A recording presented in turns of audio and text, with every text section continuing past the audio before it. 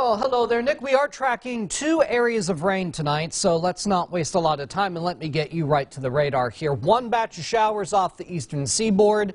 Uh, that's moving away from us, but you can see uh, more rain moving through the Great Lakes.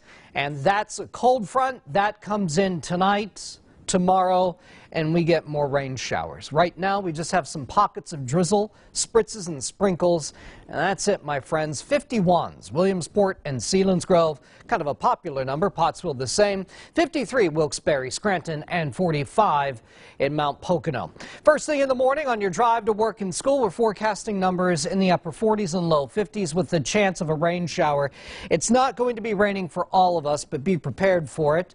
Showers scattered through early afternoon. We begin to dry out later tomorrow, and it does get a touch warmer.